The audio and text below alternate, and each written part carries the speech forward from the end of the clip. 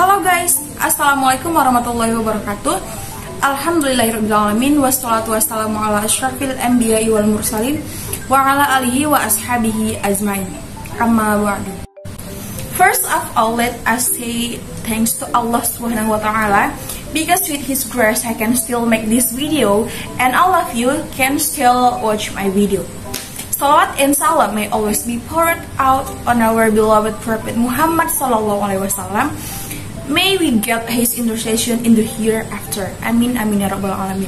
Who I love uh, is the lecturer from the morphology course, namely Mem Ismahani. Who I love is my classmate, and who I love also is the viewers from this video.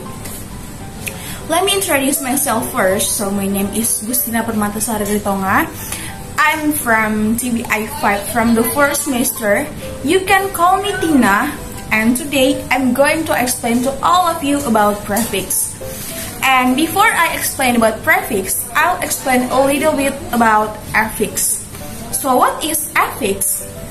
Affix is a part of word that can be added at the beginning, at the middle, and at the end of a root word. In Indonesian, affix are known as imbuhan. Well, the purpose of adding this part of word is to make a new word that have a new meaning. If an affix is added uh, at the beginning of word, it is called as a prefix. If the affix is uh, added at the middle of word, it is called as infix. And if affix is at, at the end of word, it is called as suffix. In this video, I will focus on explaining about prefix. So what is prefix? Prefix is a group of letters that added to the beginning of the words that have a specific meaning.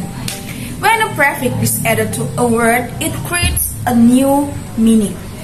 But you guys have to know that a prefix doesn't change the part of speech of a word. If the root word is a, is a verb, then if you add a prefix, the word is always in the form of a verb.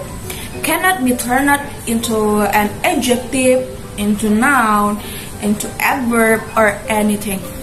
If the root word is a verb and then if you add prefix, it is always verb. Okay, I'll give uh, some example to make sure all of you is understand my explanation. The first one is this. This artinya tidak. Contoh katanya adalah dislike. The prefix is this and the root word is like. Nah, sebelum ditambah prefix this kan arti like adalah suka. Nah, setelah ditambah jadi ditambah oleh prefix di depannya menjadi dislike yang artinya tidak suka. Contoh kalimatnya adalah I dislike if you don't text me. Artinya saya tidak suka jika kamu tidak ngechat saya. Nah, prefix selanjutnya adalah ex yang artinya mantan. Uh, contoh katanya adalah ex-husband, ex-president, ex-boyfriends. Nah, jika boyfriend saja artinya kan pacar. Nah, jika ditambah prefix s uh, menjadi ex-boyfriends, maka artinya menjadi mantan pacar. Contoh kalimatnya adalah He just broke up with me So right now he is my ex-boyfriend. Artinya dia baru saja putus dengan saya Jadi sekarang dia adalah mantan pacar saya. The next prefix is im Artinya tidak. Contoh katanya adalah impatient, impossible. Nah jika, posi jika hanya possible artinya mungkin. Dan jika ditambah prefix im menjadi impossible, maka artinya menjadi impossible. Contoh kalimatnya adalah impossible if you get a good score. Artinya tidak mungkin kamu mendapat nilai yang bagus. Nah, prefix selanjutnya adalah miss yang artinya salah. Contoh katanya ada misunderstanding, misspelling, and the other. Jika hanya understanding saja, kan artinya hanya paham. Nah, jika ditambah prefix miss menjadi misunderstanding, maka artinya menjadi salah paham. Begitu juga dengan misspelling tadi. Spelling kan hanya mengeja. Nah, jika ditambah misspelling maka artinya menjadi salah eja. Seperti itu. And then the next prefix is non. Non ini bisa diartikan tidak atau tanpa. Contoh katanya yaitu ada non-muslim. contoh kalimatnya adalah My neighbor is non-Muslim. Tetangga saya bukan Muslim.